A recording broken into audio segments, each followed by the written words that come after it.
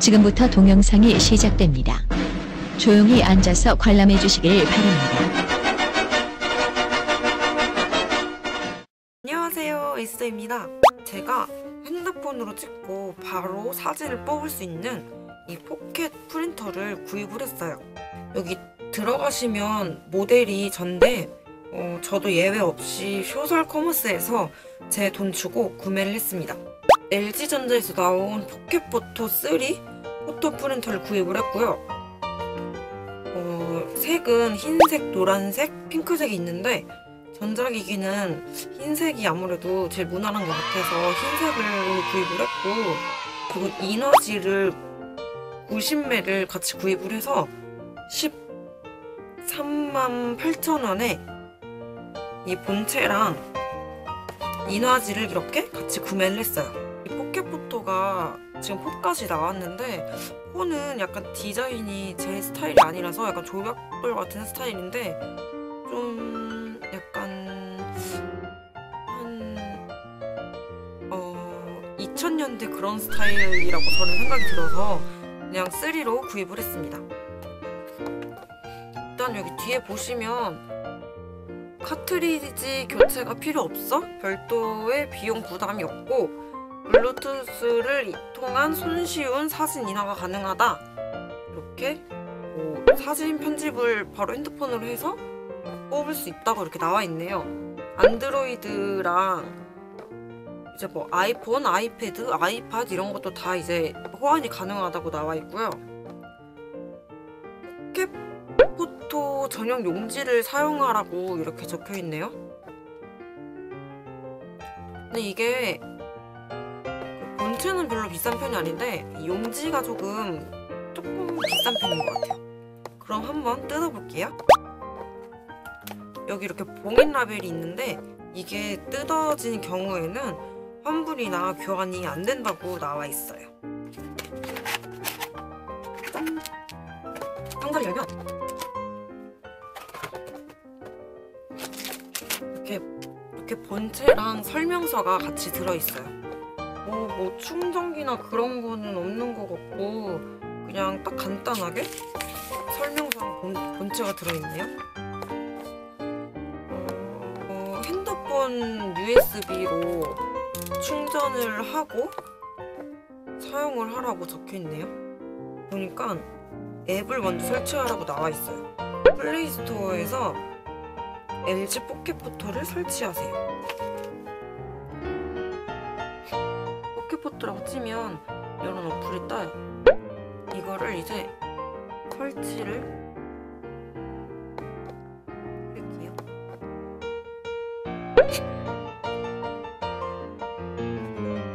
해줘 오빠를 해줘 피자 이거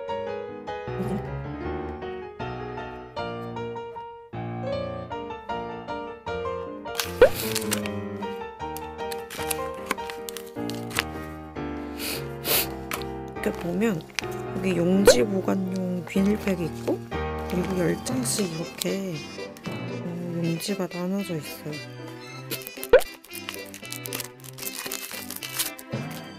보면 파란 색깔 카트리지가 있고 여기는 흰색 그리고 여기는 약간 하늘 색깔의 용지가 있어요. 크기는 폴라로이드보다 살짝 작은 사이즈인 것 같아요. 이 정도? 뚜껑 열고 여기다가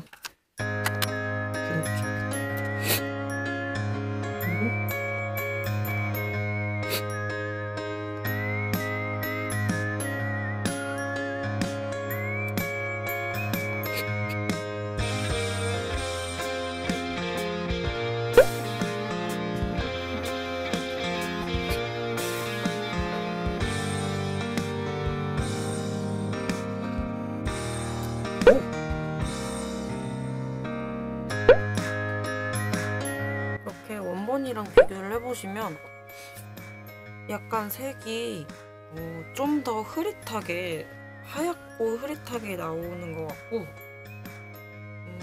화질은 그 큰 포토 프린터가 집에 있었는데 거, 그거에 비해서는 다소 많이 떨어지는 것 같아요. 별로 그렇게 썩 좋지는 않은데 폴라로이드 화질이랑 비슷한 것 같아요. 그래도 이 정도면 나쁘지는 않은 것 같아요.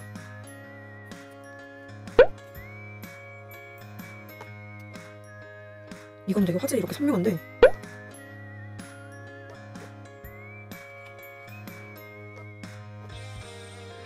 이건 약간 여기 이런 막 팔 부분 이런 데 노이즈가 이렇게 껴서 나와요 크기도 거의 4분의 1 정도? 그 정도 크기인 겁니다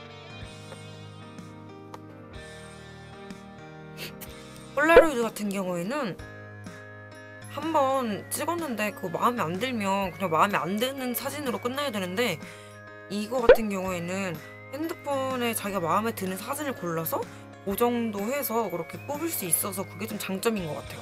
근데 화질은 그렇게 제 마음에 썩 들지는 않는 것 같아요. 근데 또 제가 포토 프린터를 갖고 있었었는데 그거는 이제 포토 잉크가 또 비싸더라고요. 근데 이거는 잉크가 필요 없다고 하니까 그게 또 장점인 것 같아요. 근데 용지가 비싸다는 게 함정. 이렇게 약간 알록달록한 사진을 한번 뽑아볼게요.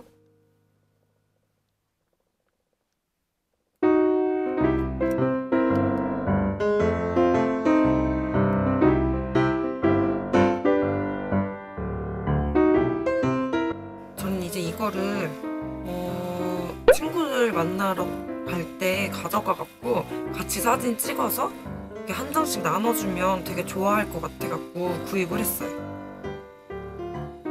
오.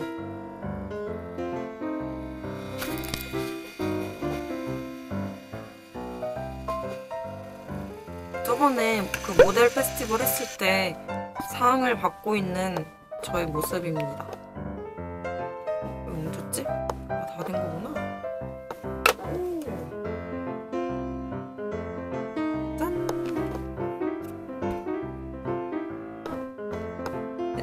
핸드폰이나 컴퓨터로 사진을 많이 갖고 있긴 하지만 그래도 이렇게 직접 갖고 있는 거랑 핸드폰으로 이렇게 보는 거랑 느낌이 좀 다르잖아요.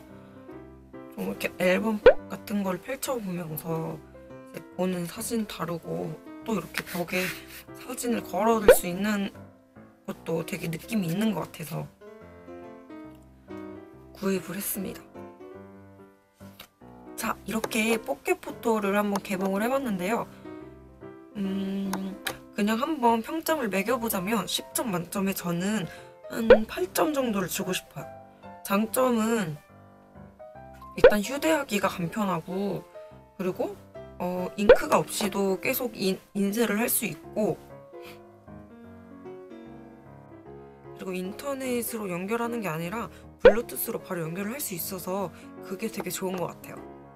근데 단점은 화질이 약간 떨어지고 색감이 그 원본 사진에 비해서 좀 달라진다는 점? 그리고 이 용지가 조금 비싸다는 점? 그거는 약간 좀 단점인 것 같아요. 그럼 여러분 다음에 다른 영상으로 다시 만나요. 안녕.